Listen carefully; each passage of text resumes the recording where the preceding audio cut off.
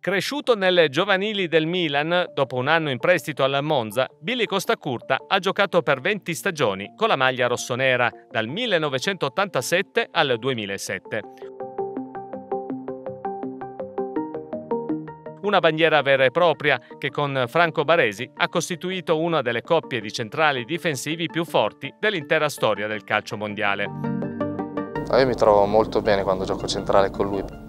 Ho sempre avuto la fortuna di avere giocatori al fianco che in ogni caso riuscivano a correggere alcuni errori, alcuni miei errori. Un binomio ovviamente ripreso anche in nazionale, con cui Costa Curta ha totalizzato 59 presenze, segnando due reti. Il palmarès è sterminato se si considera che Billy Costacurta ha vissuto tutta l'epopea del Milan di Sacchi, Cappello e Ancelotti. Sette scudetti, cinque Supercoppe italiane, una Coppa Italia, cinque tra Coppe Campioni e Champions League e due Coppe Intercontinentali.